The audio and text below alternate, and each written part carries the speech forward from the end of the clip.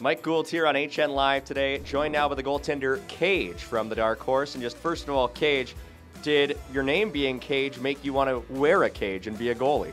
Uh, kind of. Well, my brother's name, he, I have a twin. Uh, his name is Vaughn, and that's the equipment I wear. So.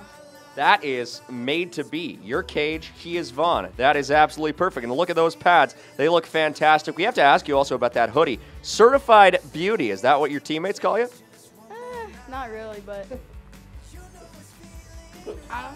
That's perfect. Uh, you know, Kage, uh, we got to ask when you're in uh, when you're in between the pipes, who do you like to play like? Who who do you like to watch and and, and, and try to emulate? My favorite goalie is probably Andrei Vasilevskiy. I try to play like him, and yeah. Perfect. Hey, two-time Stanley Cup winner. That's be- that's the best. And what team do you like to watch on a day-to-day basis? Uh, between it's between the Oilers or Tampa Bay Lightning. So. Oilers, Tampa Bay Lightning. Lots of good players there. And hey, when you're between the pipes, we've asked a lot of skaters this. We haven't asked a goalie yet. What animal do you like to play like in there?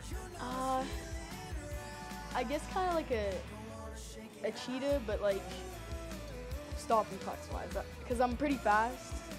Because I'm not the tallest guy, I have to be kind of faster. So. A cheetah, but like stopping pucks. That's that's the good stuff. Now we know goalies sometimes have eclectic tastes, a little bit you know offbeat. We've had a lot of rap. We've had a country music fan. What kind of music do you like listening to? Uh, rap, hip hop, yeah.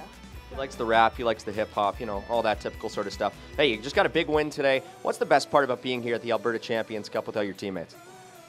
Having fun at the hotel, partying, uh, going around the pool. That's, that's perfect. He loves having fun at the hotel and party, and that's what we like to hear. Kage, what a what a pleasure this has been. Appreciate your time.